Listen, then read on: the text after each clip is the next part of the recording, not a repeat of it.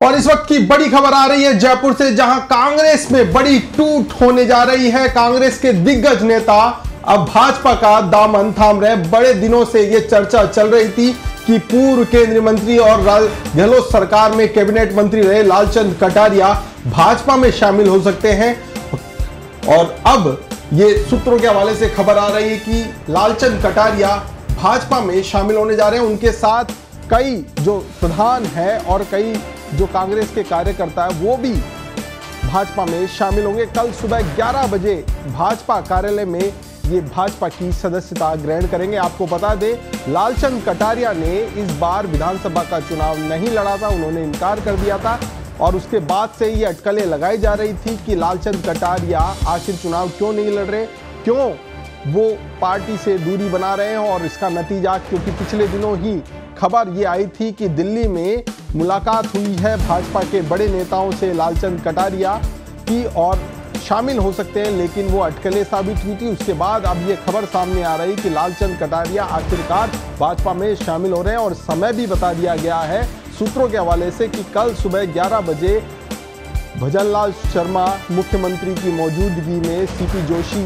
प्रदेश अध्यक्ष भाजपा के मौजूद रहेंगे और उनकी मौजूदगी में ये सदस्यता ग्रहण कराई जाएगी। आपको बता दें कि इससे पहले महेंद्र महेंद्रजीत सिंह मालविया कांग्रेस छोड़कर भाजपा में शामिल हुए थे। उन्हें भाजपा ने अपना उम्मीदवार बनाया बांसवाड़ा से और ये अटकलें लगाई जा रही कि लालचंद कटारिया भाजपा में शामिल होते हैं तो जयपुर ग्रामीण से उन्हें लोकसभा का उम्मीदवार भारतीय जनता पार्टी बना सकती है। तो उम्मीदवार बना सकती है। बड़ी खबर इस वक्त की राजस्थान में सियासी गलियारों में बड़ी खबर है और चर्चा तेज है कि कल सुबह 11 बजे ये शपथ, ये जो पद, जो पार्टी में शामिल होंगे, पार्टी बदलेंगे, लालचंद कटारिया। लोकसभा चुनाव से पहले राजस्थान में बड़े स्तर पर दल बदल होने की खबर की चर्चाओं का बाज़ार गर्म है। हाल ही में मध्य प्रदेश में 15 बीजे, कांग्रेस के नेता बीजेपी में शामिल हुए। अब खबर यह है कि राजस्थान में बड़ी संख्या में, मध्य प्रदेश से भी ज़्यादा संख्या में ये नेता कांग्रेस छोड़कर भाजपा का दामन थाम रहे हैं। कल 10 मार्च, यानी कल सुबह 11 बजे ये कार्यक्रम होने जा रहा है, जिसमें भाजपा का दामन ये थामेंगे कांग्रेस के नेता।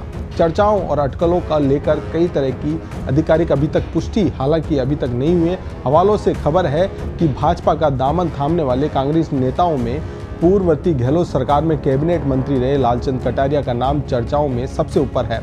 उनके अलावा विधायक, पूर्व विधायक रिचपाल मिर्दा, विजयपाल मिर्दा, पूर्व विधायक आलोक बेनीवाल, खिलाड़ी लाल बैरवा और सेवा दल के पूर्व अध्यक्ष रह चुके सुरेश चौधरी का नाम भी कांग्रेस छोड़ने वालों की सूची में शामिल है।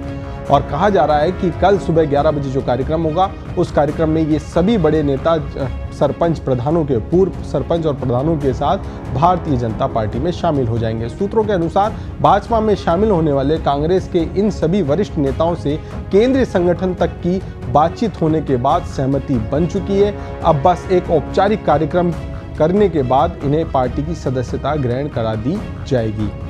बताया जा रहा है कि कल 10 मार्च को 11 बजे जयपुर स्थित राजस्थान के जो भाजपा कार्यालय है, वहाँ पर कांग्रेसी नेताओं को भाजपा में एंट्री कराई जाएगी।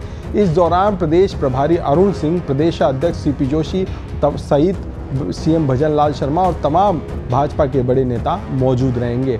गौरतलब है कि कांग्रेस के कई वर्षों तक वरिष्ठ नेता रहे महेंद्रजीत सिंह मालवीय ने हाल ही में भाजपा ज्वाइन करने के बाद बड़ा झटका दिया था।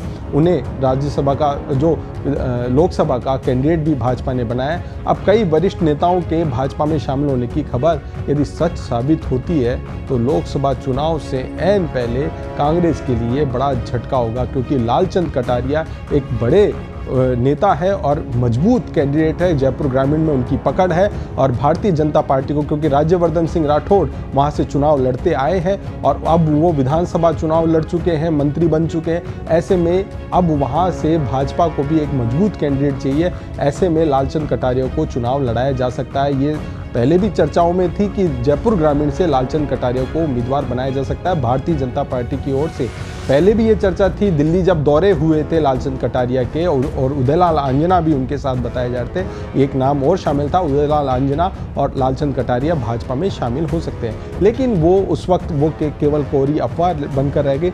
अब जब मालवीय गए तब कांग्रेस के नेताओं के बयान आए। डोटासरा ने जो प्रदेश अध्यक्ष कांग्रेस उन्होंने भी कहा, जो जाने वाले वो जाएँगे।